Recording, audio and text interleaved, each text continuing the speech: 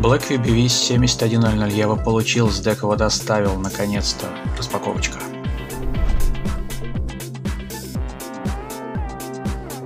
Ладно, ребята, всем приветик. Латуха обещал, Латуха делает. 7100 модельку Blackview слышали? Вот, сейчас вы ее еще и увидите. Распаковка на канале. Раньше времени обещали 20 какого-то сентября. Сегодня у нас вроде 19 аппарат уже у меня. SDEC сделал какое-то чудо. Откройся ж ты уже, чудо. О, смотрите, как изменилось все. Наклейки стали уже другие. До 10 оперативка стала. Так вот, оперативка до 10, само собой, это растянутая. Родная оперативочка вот уже написано 6 и 4 это, ну, типа своп раздела, типа файла подкачки, ну, кто как хочет хоть так и называйте. Короче, вынимаем, надеюсь. Надеюсь, выпадет. Есть. Ой, нас сзади встречают сразу же и технические характеристики. Процессор у нас здесь 67, ой, 6769Z, 8-ядерный, по 2 ГГц. Android 12, экран 6,5, уже поменьше меня это радует. 1080 на 2408, то есть не на 2400, а на 2400 еще и 8. Full HD+, ну, потому что 1080 с одной стороны, а с другой больше, чем положено. И IPS. Фронталка 8, основная 12 плюс 8. 8, по-моему, ширик. Это уже круто. Э, память 6 оперативная, 128 накопительная и баночка 13 ампер. Ну, значит, опять, скорее всего, 2 по 6600, что ли. Ну и через балансир, ну, короче, они считают это 13, мы будем видеть, скорее всего, 12700. На выходе так было, по крайней мере, на другом смартфоне с похожей батарейкой. Размеры 165,3 на 81,6 на 16 мм. Спасибо, ШЦ доставать не придется. Прошивка у меня Европа, ЕЯ. Ну, в общем, остальное все. Замечу, что коробочка изменилась. Теперь она ребристая такая, видите, надеюсь. Сейчас попробую сделать, чтобы увидели. Вот, по-моему, вот здесь видно.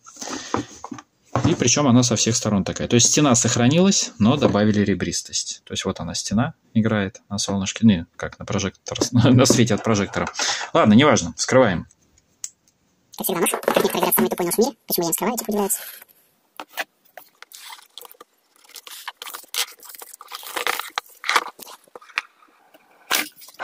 Та-дам! БВ-7100 ну как вам сказать, увесисто.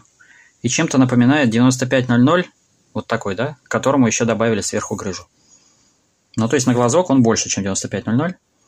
Ну и аккумулятор больше. Цвет, как я люблю, оранж. Эй, сейчас будем его расковыривать. Эй, вать, ать.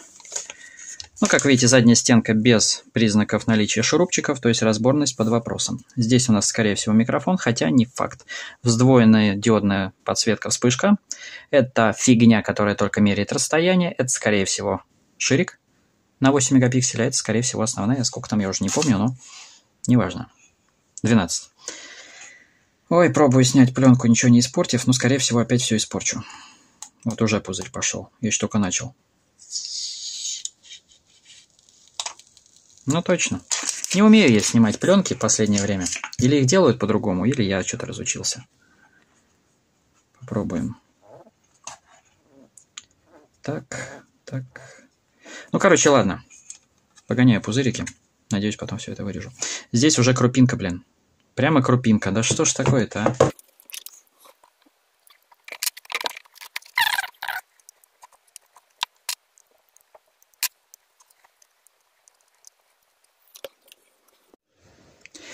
Короче, аппаратик избавлен уже от пленочек. Я понял, что штатная пленочка на экран, конечно же, чтобы сильно не ругаться, плохая.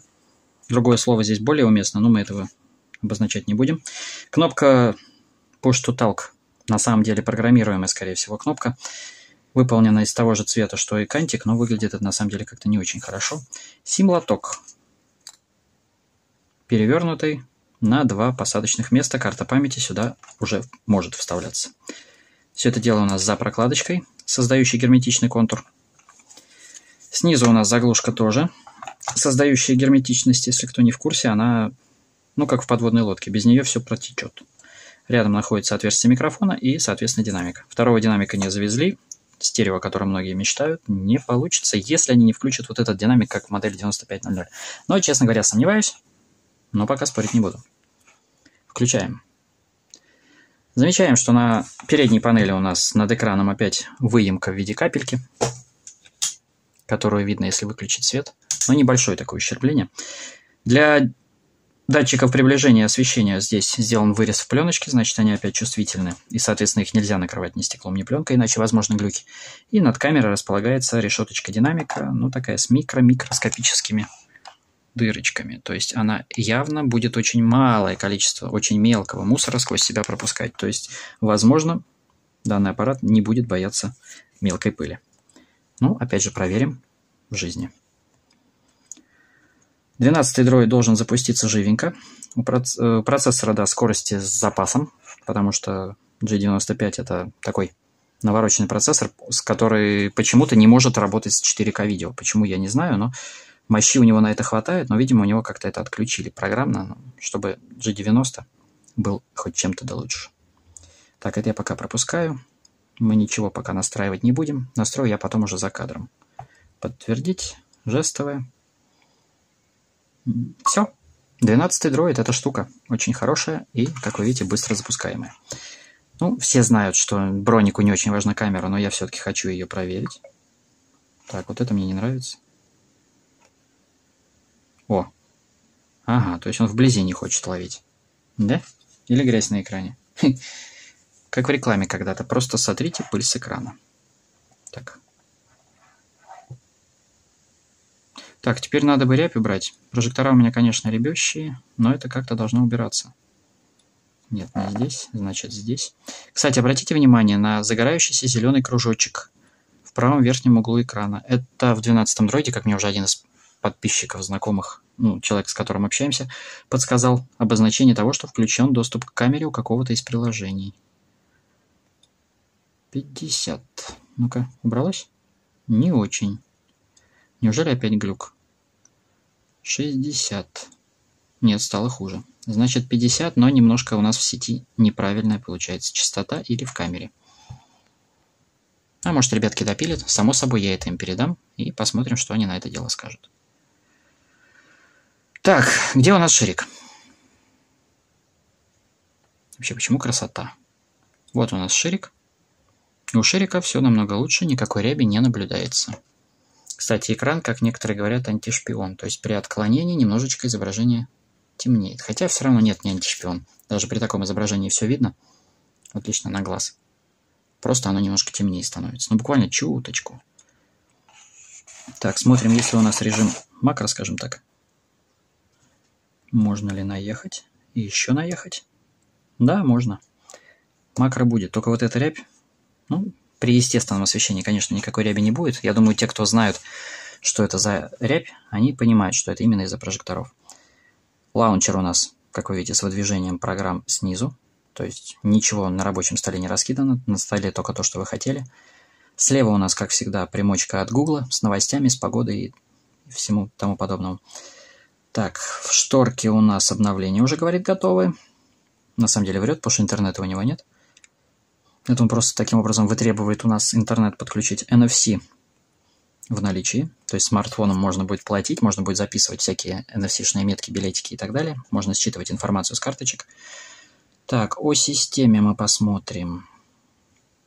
7100, Android 12, версия сборка V14, DocOS версия 3.0, 8 ядер, Оперативка сейчас уже 9,5. Не хочу. Мне, пожалуйста, поменьше. О, его можно выключить. Ну, здесь, кстати, ничего не меняется, заметьте, но здесь мы выключили. То есть сейчас у нас реальная 6 без всяких там файлов подкачки. Это меня радует, потому что меня всегда это немножко подбешивало. Камера 12 плюс 8. Данные для этих экстренных случаев это ненужная информация. Безопасности экстренные случаи. Ну, то есть по-русски сос. Опять непереведенный пункт, обозначающий режим перчаток. И причем, заметьте, он есть теперь уже по таймеру. То есть вы можете знать, когда вы на работе, и выставить, что при приходе на работу у вас столько-то времени, у вас автоматически будет включаться режим в перчатках. При уходе с работы, опять же, заранее запрограммированное время будет выключаться. Мне очень, кстати, полезно. Я на работе в одно и то же время как бы очень даже попользую, включу. Обои персонализация. Если у нас живые обои, интересно. Так, это проверяется по-другому.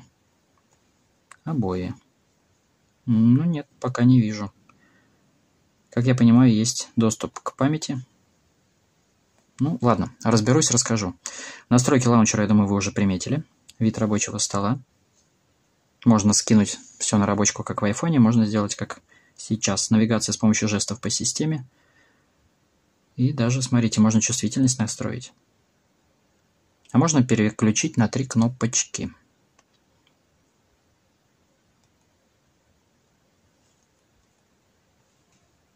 Ну-ка. Ничего не убралось. Так, а это у нас убирается? Виджет. Да, виджет убирается, а надпись? Надпись не убирается. То есть, опять то, что людям не нравится. На рабочке вот эта полоса не убирается. Единственный вариант сменить лаунчер, тогда вы ее уберете. Так, ладно, вернулся в камеру, вспомнил. Фронталку не посмотрел. О! Фронталка нормально отрабатывает. Убирает рябь от прожекторов, и с ней проблем просто нет. И, кстати, и качество вроде как даже хорошее. Тест на волосики, как некоторые говорят, проходится просто супер. Можете приглядеться. То есть фронталка здесь просто зашибись. Ладно, отъехали. Далее, звонилка. Звонилка штатная гугловская. Будет ли здесь запись разговоров, это я расскажу уже в отдельном видео. Потому что сейчас сим-карты нету, соответственно, проверить я ничего не могу. На 112 он запись все равно не даст включить. СМС то же самое, стандартная гугловская. Ну и смотрим коротенько, что у нас тут предустановлено, и на этом деле с распаковкой, видимо, завяжем. Есть игровой режим, есть детский режим, когда вы заблокировали несколько программ, и ребенок из них выйти не может, переключиться на другие невозможно, не введя пароль. Есть управление, здесь опять управление приложениями, и три пункта самых важных для работы приложений в фоне, автозапуска и запуска другими программами. Не забываем, что это все еще нужно включать иногда это дело выключено, и тогда все, что вы там настраиваете, оно не работает, пока вы эту галочку не активируете. Так, набор инструментов включает в себя компас, фонарик, шумомер, настенный уровень, просто уровень, замер высоты, лупа. Вот единственное, по-моему, лупа тут интересная. И компас. Все остальное фигня. Лупа, причем свойств, э, средствами камеры, а компас должен быть сам по себе. Да, но если его откалибровать, он будет более чутко, более правильно показывать. Короче, он есть, он работает, насколько точно расскажу потом. Ну а зеркало это не что иное, как включение фронталки и возможность увеличения. Ну, скажем так, когда у вас что-то в глаз попало, можно будет очень даже хорошо выковырить. Шумомер. Это не что иное, как диктофон, только замеряющий громкость звука, работает на базе вашего микрофона и ничего нового из себя не представляет. Это у нас что за помощник? А, помощник по переносу. Понятно, можно перенести со смартфона Blackview на смартфон Blackview без проблем, а с других смартфонов, ну, с некими примочками. Кстати, заметьте, новые игры появились, которых не было раньше в старых. То есть удалять намного больше теперь будете. Но они удаляются, как вы видите, без проблем. Просто займет время удаление этих игр теми, кому это не нужно. Живые обои. Вау. Leaf Wallpaper.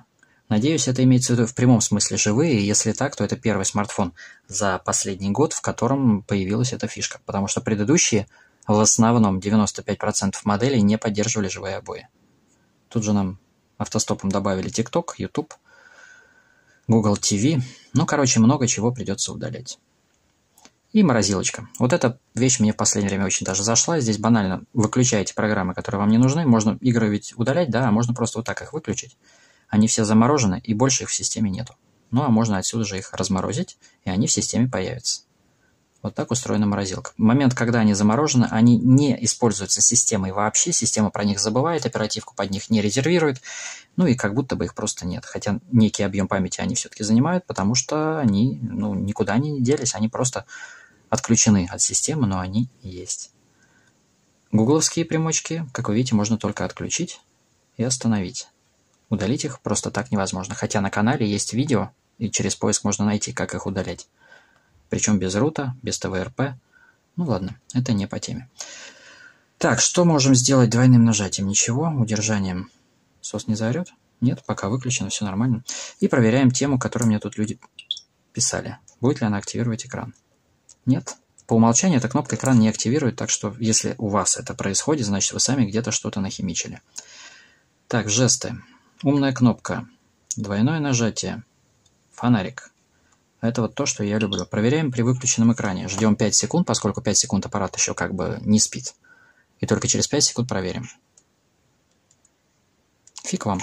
Если же вы аппарат активировали, то двойное нажатие будет зажигать фонарик. Два диода довольно-таки яркие.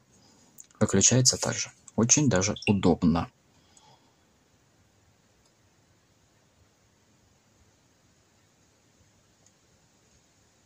Тут где-то должна менюшка вылезать, но на самом деле это я все покажу в обзоре. Отсюда вывод какой. Аппарат, в принципе, удобный, не очень тяжелый, я думал, он будет больше и тяжелее. Сравнивая с конкурентом с циферками 19, этот намного полегче, поудобнее, кажется, по крайней мере. Может быть, за счет своей мыльности, потому что как кусок мыла такой обтекаемый. Ребристые грани на краях, на углах точнее.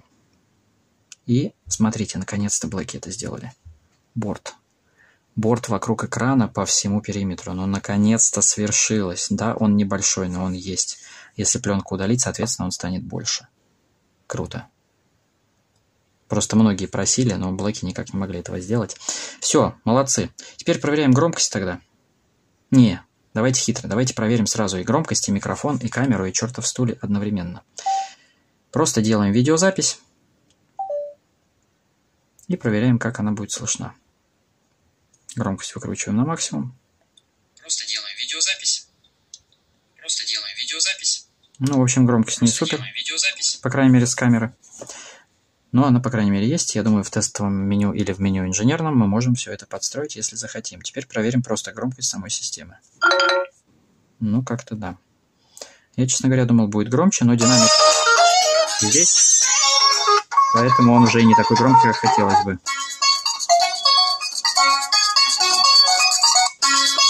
Хотя нет. С помощью выкручивания на максимум звук стал громче. Наверняка есть еще и усиление. Нет. Нет, усиления звука нету. Ну, значит, это уже максимальная громкость, и больше ей не стать. Обычно у Blackview снизу еще пунктик усилитель звука. При его активации становится еще процентов на 15 громче. В данном случае не завезли. Короче, приступаю к изучению, после чего буду вам об этом рассказывать. Вибра, кстати, только что включила, она ощутилась, то есть корпус хорошо трясет, то есть вибромоторчик в норме. И после этого в телеге. Кто не в курсе, что такое телега, это Телеграм. Есть группа специально по каналу, как бы в поддержку канала. Там можете задавать свои вопросы, ответь, ответы получите довольно-таки быстро. А если вы хотите просто дождаться и посмотреть об- обзор, в котором я постараюсь рассказать все по, по максималочке, как бы заодно и ответив на вопросы ваших коллег, которые смотрели видео, но все-таки зашли в телегу и задали свой вопрос, тогда просто рекомендую подписаться на канал. Ну и если вы хотите не прозевать видео и быть в числе первых просмотревших его, то тогда и нажать на колокольчик под, э, под разделом, что ли, на канале. Короче, есть такая фишка, плейлисты. Вот там есть у меня пунктик, так называется, плейлист обзоры. Ставите колокольчик на обзорах, и как только выходит новый обзор, в частности этого смартфона, у вас придет уведомление, что на канале таком-то вышел обзор. Поэтому, если вы это хотите, заходите на канал, плейлисты, обзоры, ставите колокольчик и смотрите, и не прозеваете никогда. На этом деле завязываю. По дизайну аппаратик интересный. Защиту у него наконец-то сделали, как вы видите. Камера, экран уже с бортами. Все. Начинаю изучать. И, кстати, забыл сказать, что 33 ватта, да. Во всех рекламах это есть, но я не показал. 33 ватта зарядочка, причем компактная. Но это все в обзоре. Теперь точно всем пока.